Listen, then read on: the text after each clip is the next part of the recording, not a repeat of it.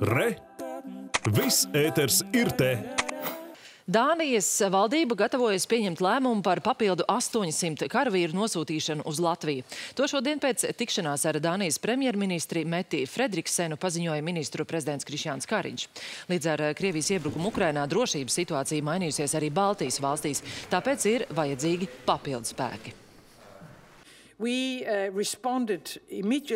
Mēs nekavējoties reaģējām uz NATO lūgumu par papildspēku nosūtīšanu uz Baltijas jūras reģionu pēc Krievijas iebrukuma Ukrainā, un mēs esam pilnībā apņēmušies sniegt ieguldījumu mūsu kopējā drošībā.